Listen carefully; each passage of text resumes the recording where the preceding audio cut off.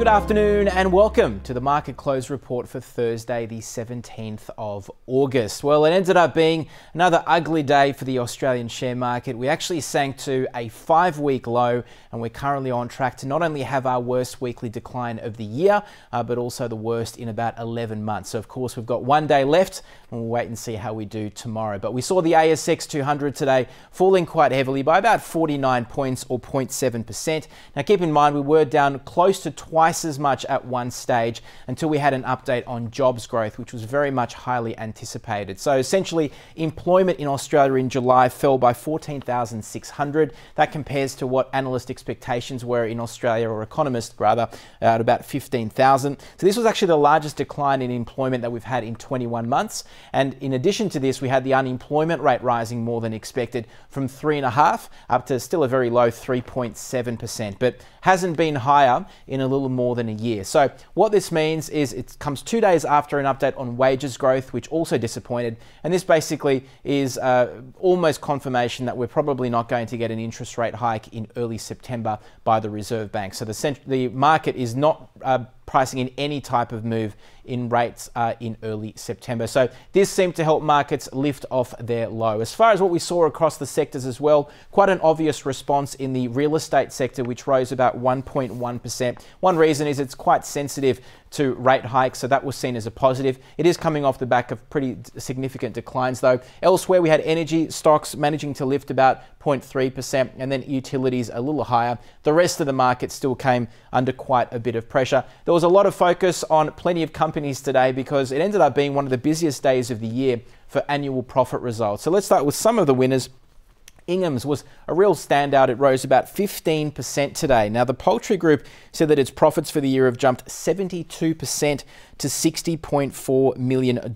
Now, this is in stark contrast to what it did in early in February when it handed down its half year numbers and basically had its profits halve and then handed basically announced all these increased costs, um, things like feed packaging, labour, fuel, and freight all became more important, so um, uh, more expensive rather. So it was generally seen as an improvement in this result. Super Retail Group, another winner today, lifting by close to 3%. Now, this is the company behind Rebel and Super Cheap Auto. Uh, it's going to pay investors a larger dividend and it follows record sales and higher profits. Goodman Group, the property company, lifting almost 5%. It flagged larger profits in 2024, as did Origin Energy, which rose by close to 2 Now, there were plenty of losers on the share market today. One of the worst ended up being tech company Nuix, which fell about 9%. Now, posted a loss of $5.6 million, quite an improvement actually on what uh, it lost a year earlier, almost 23 million bucks. But keep in mind that it's going to be difficult to impress investors when your shares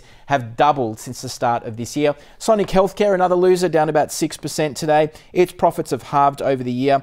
It did declare a slightly bigger uh, dividend, but the main drag on this result was an 80% drop in COVID testing revenue. So keep in mind that during the worst of the pandemic, its shares had actually doubled because of the millions of COVID tests it was ca carrying out. Obviously, things have dried up there. Evolution Mining, the gold stock, uh, falling about 5% as well. Its profits have also largely halved, and it blamed this on heavy rainfall in March, which flooded one of its mines. And then Telstra also out with its results. It was down close to 3%. So profits were up. Solid growth in its mobile phone division, but some disappointment perhaps uh, around its infrastructure business, which has decided not to sell.